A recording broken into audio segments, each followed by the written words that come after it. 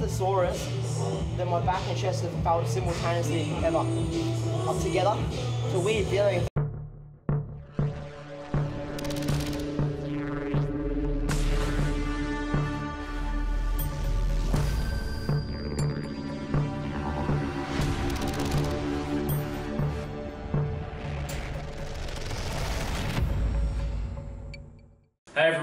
Welcome to today's workout with IFBB Pro Aaron Polites. Today we're going through chest and back, and this is from about seven weeks out of his pro debut.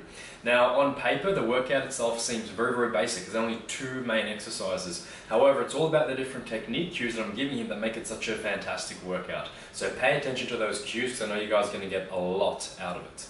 Before we get started, I do need to mention that the first couple of minutes of audio aren't the best because of all the different sounds in the background of the gym, but in the rest of the workout, the audio does get a lot clearer. So, I hope you guys enjoy.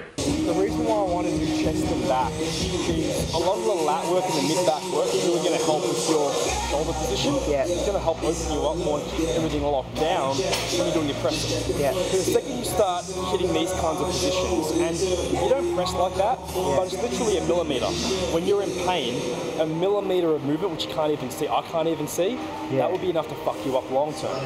So Yeah. the more we hit this, it'll keep you in position. It makes sense because little, little little things sometimes the, small. the pain can go from real bad to non-existent for, for and you're like, "Do- I don't, it doesn't hurt today, and then it's bad again, real bad, and then it's like, what the hell, and then it comes and goes, and so it would be a minute little, yeah. you know, Yeah. thing. So So we're going to start here with the lat pull down.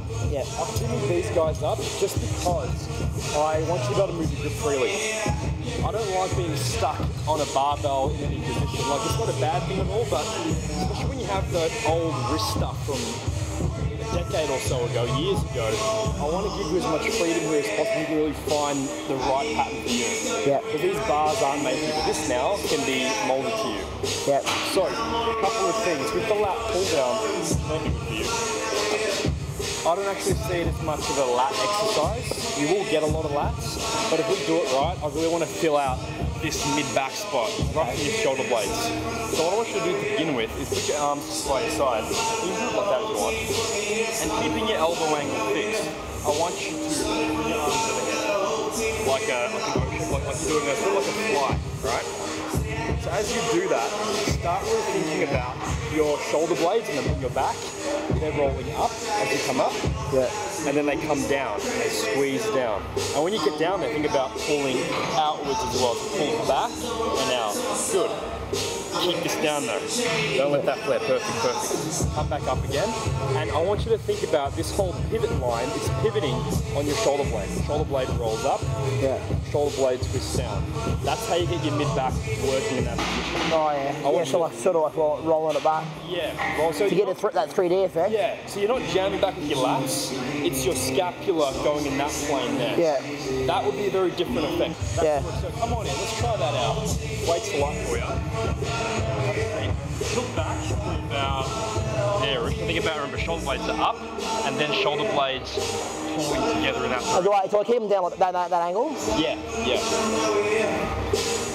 So my hands are on the shoulder blades, shoulder blade opens up, shoulder blade pinches in.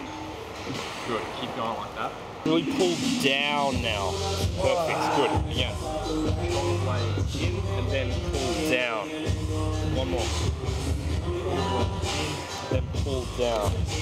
Awesome. Good. That feels real good. I like that. Yeah. Nice? Yeah, I like. Yeah. Yeah.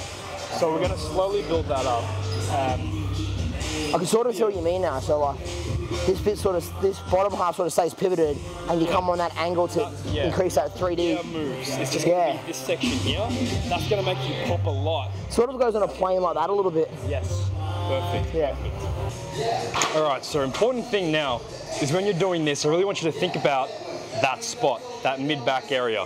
Really jam that in and hold it there the entire time. Whenever you press now, I don't want you to think about letting yourself deviate around at all. You have enough connections. Keep that mid back on and just here, pivoting straight up and down. Torso shouldn't move at all.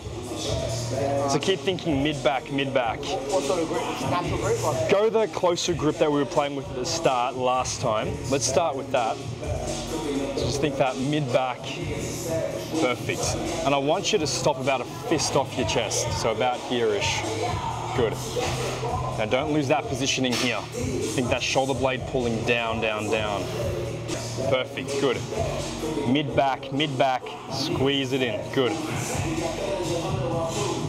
Good, man. Keep going. Lat, better. Keep thinking as much lat when you press up. Lat, lat, lat, lat, lat, lat. Good. Two more.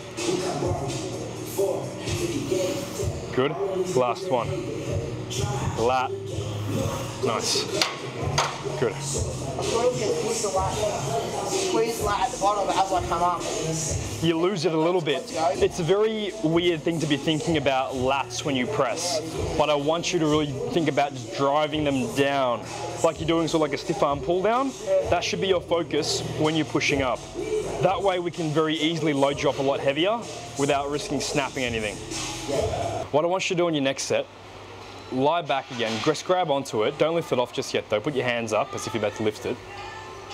What I want you to do for me, because it's going to stay relatively light, is put your thumbs over the bar and make sure your wrist stays right, uh, sorry, your elbow stays right under your wrist here. Oh, yeah, yeah, yeah. But you've still got to keep the lats in. That's the So- hard part. So they make it, don't put too much strikes into it. Yeah, but that's gonna. Well, second you bring your your lats on, your elbows want to do this, which is tricep. So we've got to teach you how to keep your lats on, but the elbows still stay a little bit higher. So let's try it out. Just five. Strong grip. More lat. That's better. That's it. That's it. That's it. Good. Elbows pulling in towards the center line. Better. Good. Good. Good. Don't lose it at the top. Keep strong at the top. Lats. Good. One more. You got it. Okay. Just give me five. Make it a really good five. Slow release on the way up. Circle, squeeze. Slow it down, man. Better, better. Think you're posing that on stage. You're gonna hit that right there and slowly release. It always stays on. Go again. One more. Good. Down. Nice. Where on the elbow? Where, where have your issues been Oh, elbow-wise? I don't know, just Okay. felt the joint a lot. I think I've locked out a little bit too hard. Yeah. Maybe I'm just not used to that. Just not used to doing that. So, actually, that's a good point. Lock out like you just did just just then. Now, there's different. If you lock out like like that, that's different to locking out like this. On. On that. Yeah. So one of them, bend your elbows again. When you lock out, you typically want to bring your hands out here, right? And you feel triceps. If you keep your hands right here, so push into me, then lock out by pushing your elbow. See how they came that way? Yeah. Keep them in, keep them right there. Squeeze your elbows together.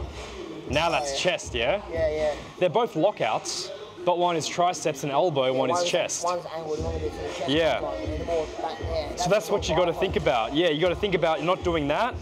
The hands stay on a fixed plane and the elbows move inwards. Yeah. That's such a tiny thing, but that's why you got big arms and not as much chest. Because that little thing done over 15 years. That's Yeah. what it is. Yeah. So if we can change, now you're conscious of it, we can start thinking about that and not that. That'll be your chest. Lat, lat, lat. Beautiful, much stronger. Go again. Lat, lat, lat. In. Good man. Last one. Lat. Perfect. Good one. If you start thinking that on all your pressing, it'll make a big difference for you. It, it literally is like a mental reprogram.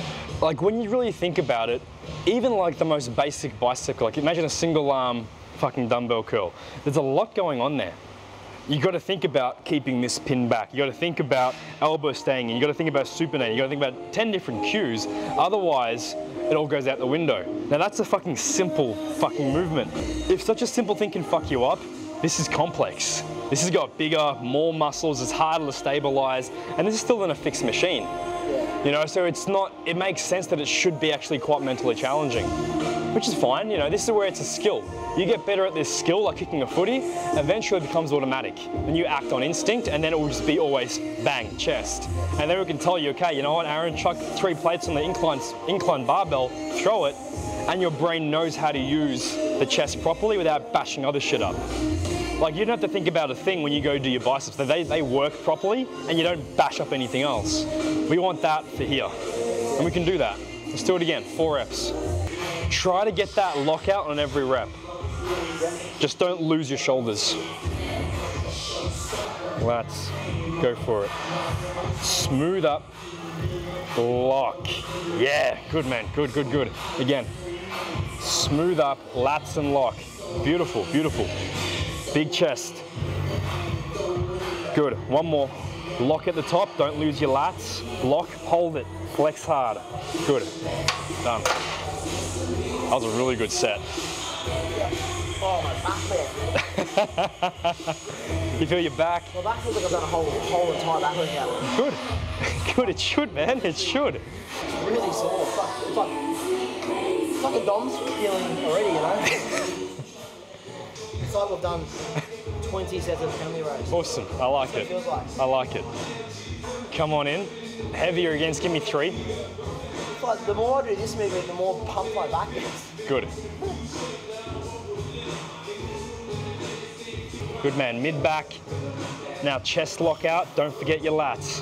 One more, one more. Lat lockout, go. Perfect. I need another ice bath tonight. this is the sorest that my back and chest have felt simultaneously ever. Up together. It's a weird feeling. It's like, I love it. it's like my whole body, my whole upper body's been bashed. Yeah. I'm not used to the whole thing being sore. Like, I just feel like, I need to go on a coma or something. I'll go on one of those cryo chambers and and just drop dead in there. so be up all. All right, circular motion. Get it in. Good, there you go. It's your last set here, man. Make it count. Think mid back. There you go. Fill it out. Yes, good, good, good. Again. Mid back, fill it out. Keep going. Release slow, release slow. Again, you got it. Contract it down, circular motion. Release slow. Good man, go again. Get it in, hold it, release slow. Think squeeze down, two more reps. Squeeze it down, squeeze it down, squeeze it down. Better. Last one. Get it down, squeeze it, hold. Now release slow. You got it, release. Perfect, perfect, perfect. There it is. Good man. Surprising, yeah? It's we've done two movements and your back is well, you- maybe one movement. That, back and forth three, or four times, only and that's it, I'm done. Nearly, I'm so sore. nearly. All right. Why am I so tired? I'm, usually I train for hours a month. You know? It's very different. Like different movements too, I know that. I know it's different movements, but it's also a very targeted thing. So probably the, the, the, reality is you would train for two hours to get the same response in your body. Yeah. We're getting two hours of work done in 40 minutes, Yeah. you know? And it's disgusting. Just being slammed by it at once. No lube, just straight in, fisted. All right, It's always worth it. this one is going to be really challenging because it's going to put you in a direct position that could fuck that shit up. Yeah. Okay, so really that's why we got we're doing it now at the end. It's going to be light. Yeah, you're going to be literally thinking about that lockout, that chest lockout. That's all I want you thinking about. But you'll be loading up. Just make sure your shoulders. Try to find the position where you pin down still. If you elevate too much, it will pinch that spot. So if you feel it, stop. We'll see how you go with it. Because it'd be really good for this region through your pecs. And more of a press out, not a Yeah, fly. yeah, it's, it's more of a press. It's, it's not even a fly. So perfect, right there. Now I want your hands finishing here, right by your waist, right here. Perfect. And don't think tricep, think chest. When you come up, keep it slow so your chest is slowly releasing, and right through here. That's it. There's far enough. Oh, oh, yeah, yeah. Back down. Small range of motion. Oh. Good. Now think about your hands staying right here, but your elbows come in. Elbows. Yeah. That's it. That's it. Hands here, elbows. Yep, I know what. I know what Good. Good. Keep going. Keep going. Bring it up. That'll do. Good. You're getting, like, you're getting your elbows and squashing the chest in. Yes. And it as Yes, elbow it does. the chest in, it's right through this Ah. spot here. When you see a side chest pose in a sec, you realize why it's so good. yeah, and it gives you like a bleeding sort of look. Yeah. Yeah, your chest looks fantastic.